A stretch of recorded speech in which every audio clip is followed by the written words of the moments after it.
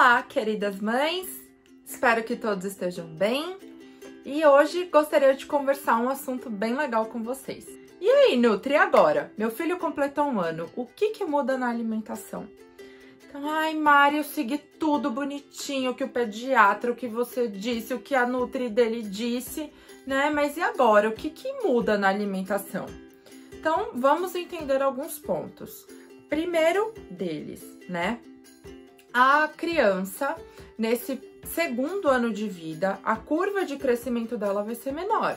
Ela não vai ganhar tanto peso e não vai crescer comparado ao primeiro ano. Ah, mas ele começou a andar, já tá correndo pela casa toda, ou seja, tá gastando mais energia. Sim, concordo. Mas o apetite da criança, por essa desacelerada na curva de crescimento, tende a diminuir. Então, uma criança de um ano e meio tem o apetite de uma criança de até nove meses. Então, não se assustem. Calma, faz parte da idade. Não fiquem de cabelo em pé pensando que o filho de vocês não estão comendo. Isso é normal, tá bom? Segunda coisa, vamos pensar lá um pouquinho na psicologia? Essa criança, ela tá se descobrindo. Ela percebeu que ela não é mais uma extensão de você, mãe, nem do pai, né? Ela é um ser vivo ali tá descobrindo o mundo, né? Então, com isso, ela também quer escolher o que ela quer comer. E tá tudo bem, a gente pode escolher, eles também podem. O importante é que tipo de alimento vocês estão apresentando para as crianças.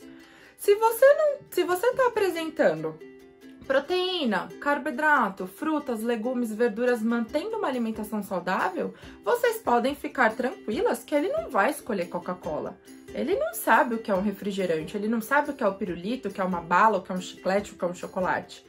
Então, a importância da família aí de apresentar bons alimentos para a criança, ok? Outra coisa importante, Sal, a gente sempre fala, não coloca sal, coloca só um pouquinho até os 12 meses. Agora, essa criança pode tolerar um pouquinho mais de sal. É claro, dentro daquilo que é saudável para a família. Ninguém pode abusar no sal, mas pode colocar um pouquinho mais. E é importante, a criança fez um ano, mamães, é a alimentação da família. Aquilo que você, o seu marido, a vovó, o titio, o irmão comem, é o que a criança vai comer também, não tem diferença nenhuma.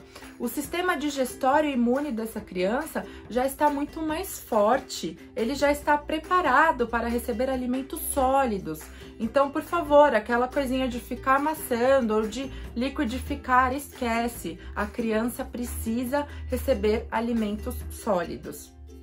Quando faz um ano de vida, quando ela completa, tem um grande marco. A partir desse momento, devido ao intestino dela que já está funcionando super bem, eu posso fazer a introdução de leite e derivados. Né? Então, posso utilizar nas refeições intermediárias uma vitamina de fruta, né? Então, eu vou utilizar a própria fruta para adoçar o leite. Eu posso utilizar um iogurte de boa qualidade, aquele que eu vou lá no rótulo e que só tem dois ou três ingredientes. Posso. Posso misturar com fruta? Posso. Nada de mel, nada de açúcar. É, posso oferecer um queijo? Uma mussarela, um queijo branco ou um outro tipo de queijo? Pode, pode oferecer. Está na hora de enriquecer a alimentação das crianças.